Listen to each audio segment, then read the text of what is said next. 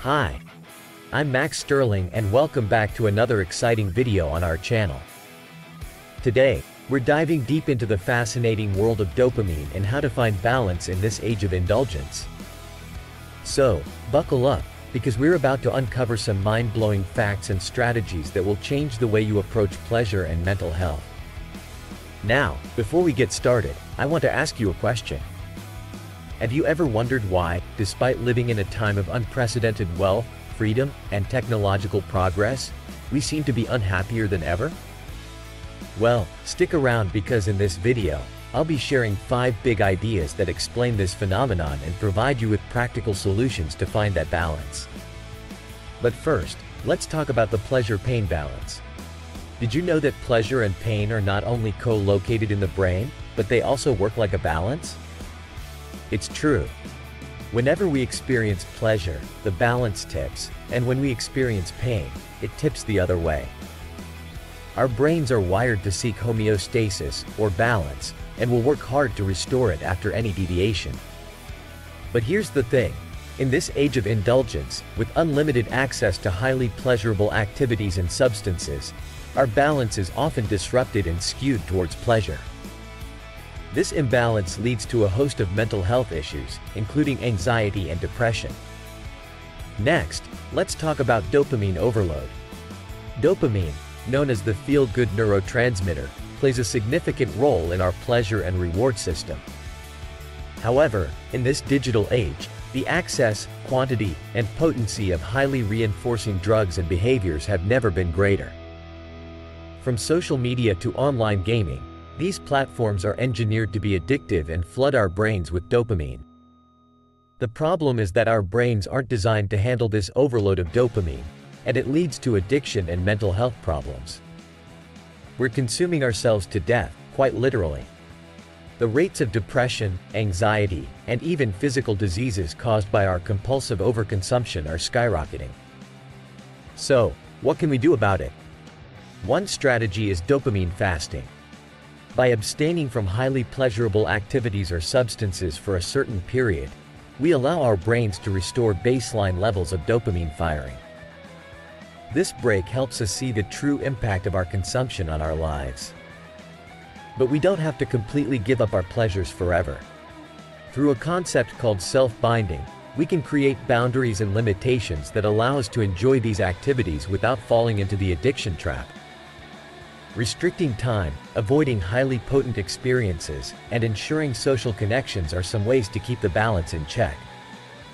Now, let's talk about pain as a pathway to pleasure. Pressing on the pain side of the balance can actually lead to more enduring pleasure.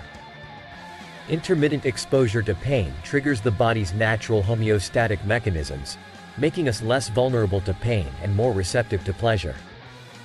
This concept flips the idea that pain is always negative and suggests that it can be a powerful catalyst for growth and joy. So, my friend, I challenge you to take a break from your drug of choice, whether it's video games, social media, or any other highly pleasurable activity. See how it affects your mental state and relationships. And when you decide to go back to using, remember to create barriers and limitations to protect yourself from falling into the addiction trap again. As we wrap up this video, I want to ask you, what steps will you take after watching this video? How will you implement these strategies in your life? Remember, knowledge without action is meaningless. So, share your plans in the comments below and let's support each other on this journey to finding balance and reclaiming our happiness.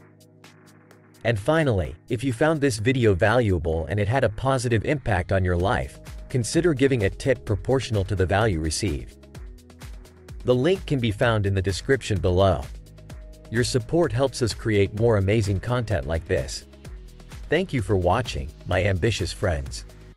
Don't forget to subscribe, like this video, and hit the notification bell so you never miss an opportunity to level up your life. Stay strong, stay focused, and I'll see you in the next video. What's up, guys? In today's video, we're going to dive deep into the world of personal abilities. You know, those unique talents and strengths that make us who we are. We spend so much time in school being tested on things that may not align with our natural abilities, which can make us feel like we lack talent or intelligence. But the truth is, we all have our own set of abilities that can lead us to success. So, if you've ever wondered where your passions and talents lie, then this video is perfect for you. By the end, you'll have a better understanding of your strengths and which direction you should pursue. Before we jump in, I want to clear up what I mean by abilities. Abilities refer to the things you have a natural interest in and excel at, even if only slightly more than the average person. It's important to note that practice and experience play a significant role in mastering any ability, so don't be discouraged if you're not a natural expert. With enough effort and hard work, you can become pretty good at any of these 11 abilities. So, let's get started with the first ability on our list, musical ability. If you have a strong affinity for music, you probably enjoy listening to it, have a sharp sense for what sounds pleasant to the ear, and may have a talent for playing musical instruments, singing, or composing music. Contrary to society's perception that music is just a hobby, there are many career paths for those who excel in this ability, such as music-related content creation, audio production, composition, and sound design. Moving on to natural ability. If you have an affinity for nature, including plants, animals, and the interactions between different elements in the world, then you may have a strong natural ability. Those who score high in this category can have careers in cooking, farming, animal-related professions, medicine, and environmental fields. Next up, we have movement ability. If you enjoy moving your body, from large explosive movements to fine-tuned motions, and have the ability to control individual muscles, then movement is your thing. Possible career paths involve sports, dance, fine craftsmanship, personal training, and martial arts. Now let's talk about interpersonal ability. If you have a deep understanding of human relationships, can read body language, and excel at holding conversations, then you might have a knack for this ability. Opportunities in sales, social content creation, event planning, relationship counseling, and law enforcement are waiting for you. On the flip side, we have intrapersonal ability. If you have a deep understanding of yourself, can reflect on your actions and make adjustments for self-improvement, then this ability is your strength. While it may not directly lead to specific occupations, it's crucial for personal growth. Professions like therapists, self-improvement coaches, and motivational speakers utilize this ability to some degree. Moving on, we have logical ability. If you're someone who enjoys reasoning, has an interest in math and science, and values truth over emotions, then this ability is for you. People with high logical ability excel in problem solving, making them great investors, scientists, inventors, and entrepreneurs. This ability sets you apart, regardless of the career path you choose. Now, let me share a quick tip to help you figure out which ability aligns with your passions. Expose yourself to a wide range of subjects and ideas, like those offered by CuriosityStream. Their documentaries and nonfiction shows on various topics can help you identify which subjects capture your interest the most, pointing you in the right direction for further exploration. Getting back to the abilities, let's talk about linguistic ability. If you have a deep understanding of language, a vast vocabulary, and the ability to craft engaging messages, you might excel in this area. Careers in writing, speaking, poetry, copywriting, translation, and more are well suited for those with a knack for linguistic abilities. Moving into the digital age, we have digital ability. This ability is all about understanding the digital world, including social media, marketing, going viral, and all things online. With the increasing demand for digital skills, opportunities in various fields requiring digital ability are endless. Anything that can be done online will benefit from your expertise. Next up, we have visual ability. If you have an eye for aesthetics, the ability to spot what looks pleasant, and skills in visualizing and creating complex images, then visual ability is your strength. Consider careers in architecture, illustration, animation, fashion design, and graphic design.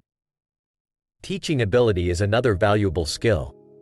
If you can simplify complex subjects and have an innate understanding of what someone is doing right or wrong, teaching might be your calling.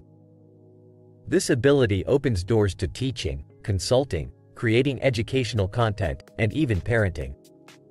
Finally, we have spiritual ability. As we grow older, many of us develop an interest in the bigger questions of life, such as the meaning of life and our purpose. If you find yourself pondering these existential questions, you might be fascinated by spiritual ability. Although there aren't many occupations specific to this ability, various fields such as philosophy, pastoral work, and deep contemplation align with this interest. Now, most of us have an affinity for more than one of these abilities. The key is finding which interests you the most and exploring career paths associated with those abilities. This way, you can make a living doing something you're genuinely interested in, which leads to fulfillment and success. So, my question for you is, after learning about these 11 abilities, which ones resonate with you the most? How will you implement this knowledge into your life? Leave your answers in the comments below. And if you found this video valuable, don't forget to subscribe to the channel, hit that like button, and ring the notification bell so you never miss an opportunity to level up your skills. Remember, by subscribing and engaging with our content, you're one step closer to achieving your goals and reaping the benefits we discussed in this video. Thank you for watching, and if this video brought value to your life, consider showing your support by leaving a tip proportional to the value received. The link can be found in the description box below. Until next time, Stay curious, stay ambitious, and keep exploring your unique abilities.